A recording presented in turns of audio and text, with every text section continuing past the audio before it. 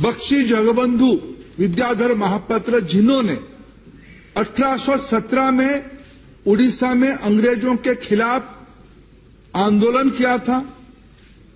उधर की लोग महामहिम आज नहीं रहे। आदरणीय प्रणब मुखर्जी जी उसकी दो शतवार्षिक उद्घाटन के अवसर पर कहे, यही सही देश की आज़ादी का पहला ही लड़ाई है। यह सारा विषय आज के इतिहास के हिस्सा अध्यक्ष नहीं है।